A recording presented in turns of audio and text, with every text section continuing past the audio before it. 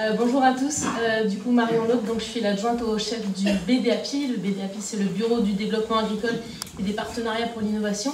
Euh, je ne suis pas venue toute seule puisque Espérance Brenley et elle est en charge notamment du suivi des dispositifs, donc euh, chef de projet et, euh, et tiers-temps qu'on appelle aujourd'hui projet de développement en relation étroite avec la Bergerie nationale, donc qui est opérateur, j'y reviendrai après. Et puis là où je ne suis pas seule non plus, puisqu'ils font bien partie du BDAPI, c'est le réseau des animateurs réseau thème. Donc il y a Dominique Dalbin, Claire Durox, Emmanuel Zanti et Irène Allais, vous les retrouverez tout à l'heure dans les ateliers, vous les connaissez, mais c'était juste pour insister sur le fait que les réseaux font bien partie intégrante de la DGR. Et c'est pareil, j'y reviendrai tout à l'heure, puisqu'il euh, n'y a pas que réseau thème dans les réseaux de la DGR, il y en a d'autres pour vous accompagner dans vos projets. Euh, moi, ce qui m'intéressait aujourd'hui de, vous, de vous dire, c'était comment, en fait, euh, la DGR voyait l'articulation des différents dispositifs qui existent aujourd'hui dans les établissements au service du montage de, projets. Et donc, c'est voilà, c'était mon propos aujourd'hui remettre euh, quelques éléments de contexte quand même, puisque tout ce qu'on va vous demander euh, de faire au sein des établissements s'inscrivent d'abord spécifiquement dans les cinq missions de l'enseignement agricole. Tous les projets ne répondent pas aux cinq missions, euh, tous les types de projets, mais vous en avez par exemple l'animation et développement des territoires, typiquement tous les projets y répondent. Euh, assurer une formation générale, technologique et professionnelle initiale et, continue, comme on l'a mis, c'est le fil conducteur, et c'est ce qu'a exprimé euh, notamment Benoît. Et puis après, vous avez certains projets euh, qui se rattachent à des choses plus spécifiquement tournées, par exemple, vers l'expérimentation, à la coopération internationale ou à tout ce qui relève des compétences psychosociales. Et puis, vous avez peut-être entendu parler dans le cadre du PLOA, sur lequel on va revenir après aussi, éventuellement de la sixième mission dans l'enseignement agricole qui serait liée clairement là à la transition agroécologique.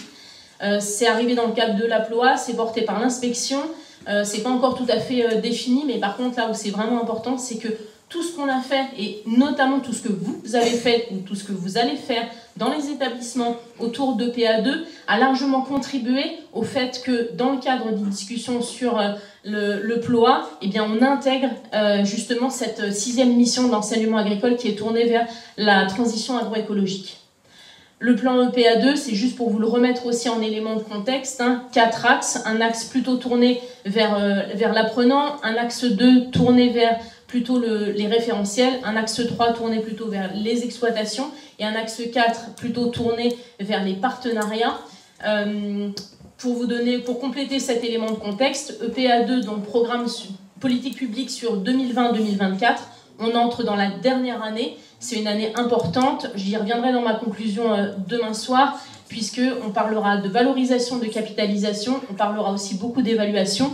Et puis Christian euh, vous l'a dit en introduction, on commencera à parler aussi de la suite de PA2. Qu'est-ce qu'on fait derrière cette, euh, cette politique publique et surtout dans le contexte donc qui est celui-ci? Alors aujourd'hui, je pense et aujourd'hui depuis de nombreuses années, on est quand même dans un contexte très favorable à monter des projets. Euh, alors on ne monte pas des projets juste pour monter des projets, on monte des projets pour répondre à un certain nombre de, de, besoins.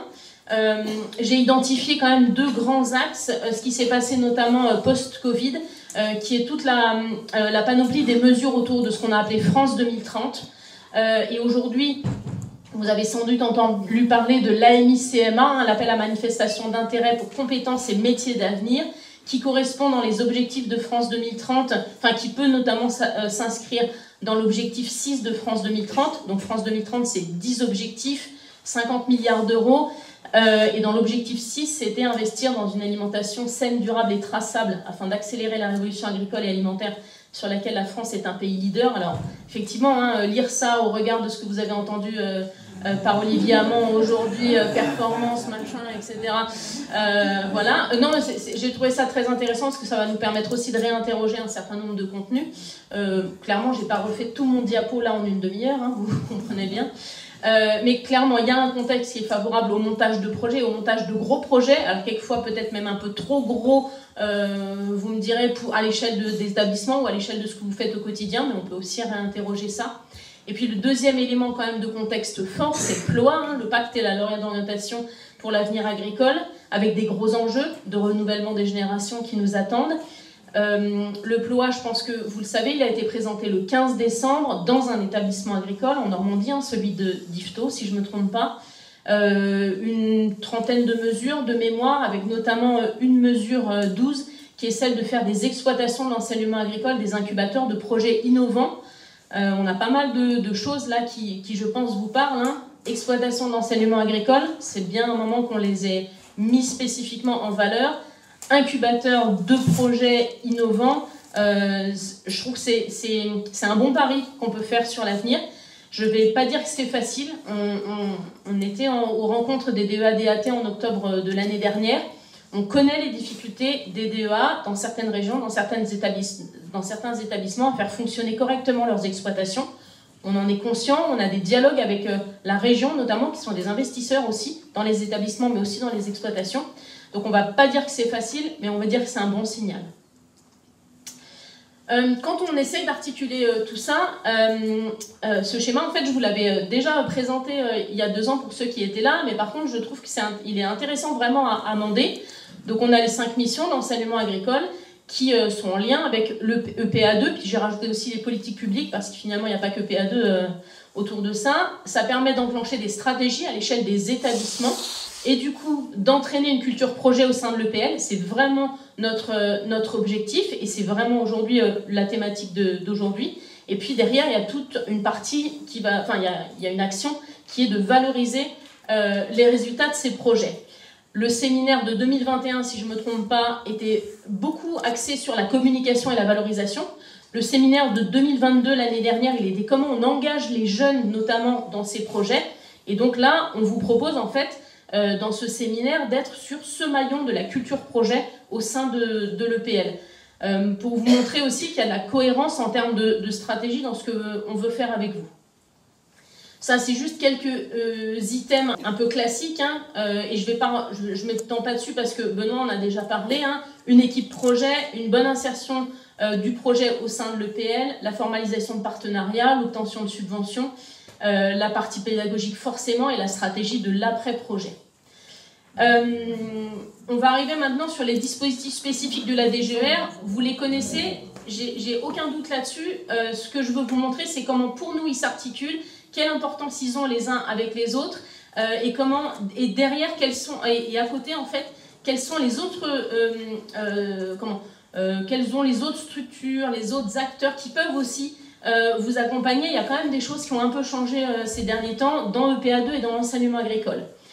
Euh, je vous ai mis la référence d'un webinaire qu'on a fait en début d'année en septembre qui décrivait tous les dispositifs en détail, ce que je ne vais pas faire là, mais vous avez ce webinaire en ligne sur le site ADT et je vous ai remis la, note de service de l'année dernière. Vous en aurez une forcément nouvelle cette année dans la continuité et on espère qu'elle sortira beaucoup plus tôt. Vous voyez, un émergent suffisamment gros, hein, c'est la nouveauté d'il y a deux ans, c'est euh, le fait d'avoir déclenché une DGH spécifique sur, euh, sur émergence. Je vais y revenir après. Et l'idée d'émergence, c'était de vous donner un an supplémentaire pour vous aider à préparer d'autres projets, notamment les projets de développement. Donc la nouveauté de l'année dernière, c'est que sur les projets de... Donc ce sont les ex-tiers-temps. Hein, euh, aujourd'hui, vous avez trois choix possibles. Hein, DGH, DGH plus de l'argent ou uniquement euh, de, l'argent et ce sera reconduit cette année. Euh, d'ailleurs, on est en pleine euh, récupération là de, des, appels, des, projets de développement qui commenceront en septembre 2024. On a les chefs de projet et puis on a les autres appels à projets type PNDR, PNDR donc CASDAR ou autres et en fait, émergence peut vraiment être l'année de préparation qui donne accès à du projet de développement, à du chef de projet ou autre, directement. On l'a vu, notamment, je pense à Erasmus. Euh, vous avez des projets de développement qui amènent derrière à des chefs de projet, qui peuvent amener derrière aussi euh, à d'autres appels à projets. Vous avez plein de choix possibles. Et par contre, ce que j'ai rajouté, et c'est pour ça que j'ai mis schéma de cohérence des dispositifs aujourd'hui, à l'intérieur des EPL, déjà, vous avez d'autres euh, personnes qui ont des DGH ou du temps ou des briques, etc. Et d'ailleurs, sur les porteurs de briques, je me suis trompée, j'aurais dû mettre aussi la petite icône finance parce qu'il y a ça aussi. Mais du coup, vous avez, donc vous les connaissez, et il y en a dans la salle aussi des référents et des référents régionaux EPA2 qui peuvent vraiment aussi euh, apporter une aide sur la gestion de projet. Depuis l'année dernière, avec la mise en place du pacte enseignant, vous avez les porteurs de briques transition agroécologique, c'est la fiche 6 c'est vraiment la nouveauté et ils peuvent aussi aider à impulser euh, des projets. En tout cas, on l'a notifié comme ça dans les possibilités de la fiche. Vous avez dans certains EPL des chargés de mission propres à certains projets des EPL qui peuvent venir aussi dans ce schéma de cohérence. Et puis vous avez des correspondants RMT. Eux aussi peuvent être amenés à interagir avec les trois, les trois dispositifs que vous connaissez principalement. Un retour spécifique sur émergence. Alors j'ai vu aussi qu'il y avait des, parmi vous, il y avait des porteurs de projets spécifiques émergence. Euh, alors, bah, du coup, c'est des chiffres, hein, c'est des indicateurs, c'est de la performance ou pas, on peut s'interroger.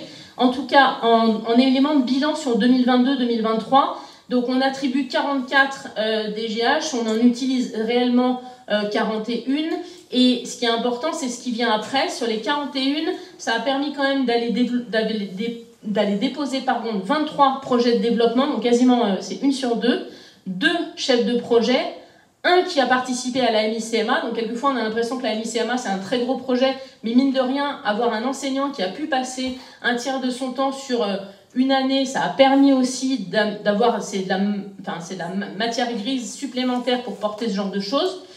Euh, un appel à projet régional, un Erasmus, dont je vous parlais tout à l'heure, et puis l'idée aussi de, présenter des projets de, développement, mais l'année d'après, ce qui avait été une possibilité offerte.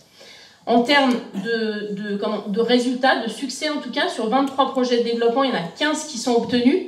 Donc nous, clairement, au niveau de la DGR, on était plutôt satisfait de ce premier bilan parce que l'émergence, on l'a vraiment mis en place pour qu'on ait une augmentation euh, du nombre de projets euh, tiers-temps, de projets de développement, puisqu'on avait senti que ça se diminuait un peu, on avait besoin de relancer la machine. Clairement, ça a fonctionné cette année. Et les deux chefs de projet donnent deux chefs de projet obtenus. On est plutôt satisfait. L'année prochaine, je vous montrerai les chiffres donc, des émergences de cette année. Et clairement, alors est-ce qu'on a eu un, effet d'appel, un, appel d'air, je ne sais pas comment l'appeler, mais on ne va pas être dans les mêmes chiffres cette année. Et du coup, on va, s'interroger. Pour l'instant, on n'a pas suffisamment de recul. Là, je vous présente une année d'émergence. Là, on est dans la deuxième année.